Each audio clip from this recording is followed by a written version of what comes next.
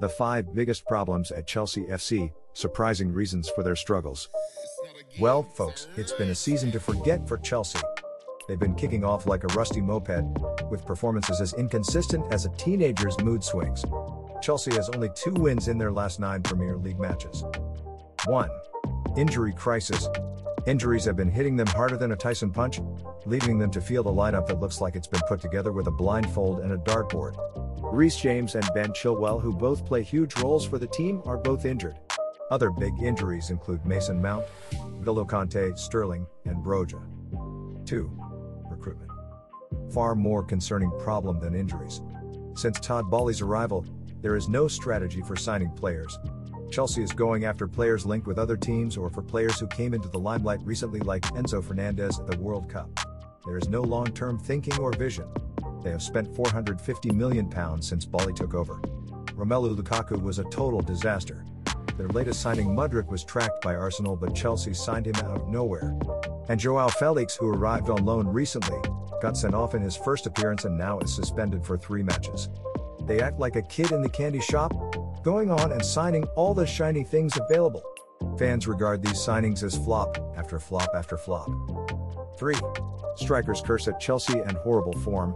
For 20 years, after Drogba and Anelka, they had struggled with strikers a lot even after spending 380 million euros on strikers. In a match, Chelsea subbed the recently subbed Obama Aubameyang. Potter preferred a lot of midfielders instead of him when they were losing against Man City. According to critiques, Chelsea was playing with 10 men with Auba on the field. 4. Massive transition. In all, nine players who were part of a last season squad left in the offseason, leading to a record spending summer. There's been tension brewing in the dressing room like a cup of instant coffee, and their morale has been lower than the stocks of a struggling meme page. The whole process of selling the club has been dramatic, to say the least. Late last season, all the club's accounts were frozen, naturally deterring the focus of the players and backroom staff at the time. Eventually, the club was taken over by American billionaire Todd Boehly, but things still did not go swimmingly. There were multiple reports of disagreements over signings between owner and then manager Thomas Tuchel, most noticeably over signing Cristiano Ronaldo.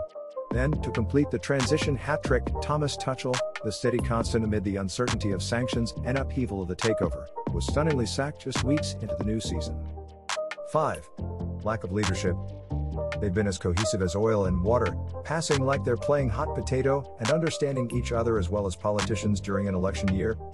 No new players can match the personality of John Terry, Frank Lampard, Michael Essien, or Eden Hazard. Eden Hazard was a prime example of that.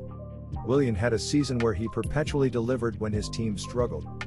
Even during Chelsea's most dominant period, the likes of Frank Lampard or Didier Drogba were on hand to produce a goal or moment of magic to steal a win when needed. Currently, too many talented players, those capable of making a difference in key moments and tight games, are out of form or low on confidence. Kai Havertz has all the makings of a world beater and has shown glimpses of the same but is too inconsistent this season. Hakim Ziyech and Pulisic also have been hot and cold so far. Sterling has been too wasteful, and Aubameyang, well he is nowhere near his best. Safe to say Potter has not made much of an impact so far. But hey there's always next season right?